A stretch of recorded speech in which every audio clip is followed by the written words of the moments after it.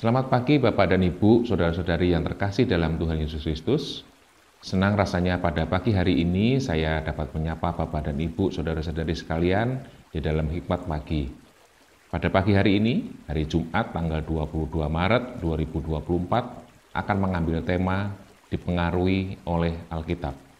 Mari saya ajak sebelumnya, mari kita berdoa. Bapak yang baik, Bapak yang bertata dalam kerajaan surga, Terima kasih jikalau pada pagi hari ini Engkau masih memberikan kesehatan kepada kami, Engkau masih memberikan kehidupan kepada kami hingga pada pagi hari ini.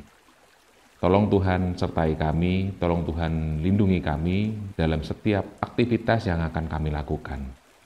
Oleh sebab itu Tuhan pada pagi hari ini kami ingin mengambil saat teduh sejenak, kami akan merenungkan firman kebenaran-Mu, Kiranya firman yang akan kami dengar, firman yang akan kami renungkan, dapat berguna bagi kami, dapat berguna untuk aktivitas kami, dan sebagai landasan kegiatan kami dalam kehidupan kami sesehari. Tolong Tuhan bukakan hati kami, kami siap untuk mendengar. Amin. Pada pagi hari ini akan mengambil tema dipengaruhi oleh Alkitab.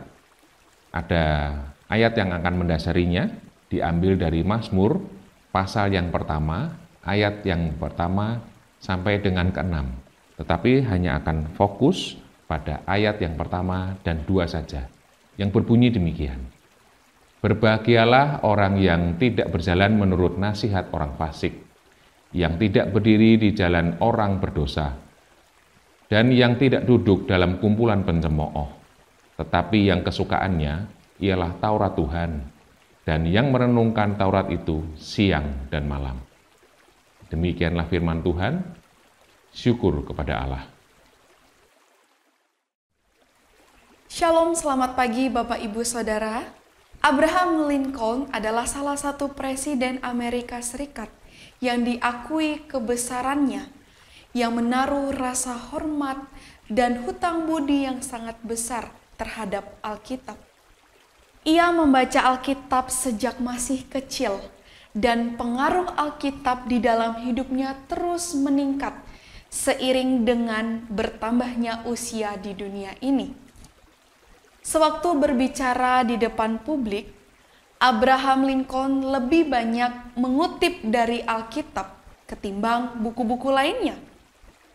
Gaya bahasanya juga dipengaruhi oleh Alkitab khususnya tulisan para nabi Israel. Gaya pidato pelantikan keduanya yang sangat menyentuh hati para pendengar di seluruh dunia mengingatkan kita pada kitab Yesaya. Abraham Lincoln tidak hanya berbicara dan menulis dengan gaya Alkitab, namun, ia juga berpikir dengan ide-ide dan keyakinan-keyakinan Alkitabiah. Oleh karena itu, ia sukar dicari tandingannya dari antara para negarawan modern di seluruh dunia. Selain itu, Abraham Lincoln juga merupakan orang yang saleh dan gemar berdoa.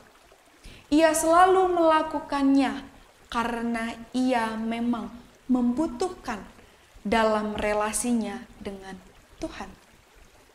Ia pun tidak ragu meminta orang lain untuk mendoakannya atau untuk mengakui bahwa ia sendiri suka berdoa. Secara rutin ia berbicara tentang mencari tuntunan ilahi, seolah-olah itu merupakan hal yang sepenuhnya alami dan masuk akal untuk dilakukan. Abraham Lincoln sering dipuji sebagai presiden Amerika Serikat yang terbesar. Alasan dari segala pujian itu tidak bisa dipungkiri berasal dari kerohaniannya yang agung yang juga menghantarkannya untuk mengambil keputusan-keputusan yang mengubah dunia menjadi semakin lebih baik. Alkitab memang berkuasa karena Alkitab adalah firman Tuhan yang hidup. Dan barang siapa yang mengandalkan firman-Nya, maka hidupnya akan bahagia. Pemasmur menegaskan kebenaran ini dengan berkata, Berbahagialah orang yang tidak berjalan menurut nasihat orang fasik, yang tidak berdiri di jalan orang berdosa, dan yang tidak duduk dalam kumpulan pencemooh, tetapi yang kesukaannya ialah Taurat Tuhan dan yang merenungkan Taurat itu siang dan malam.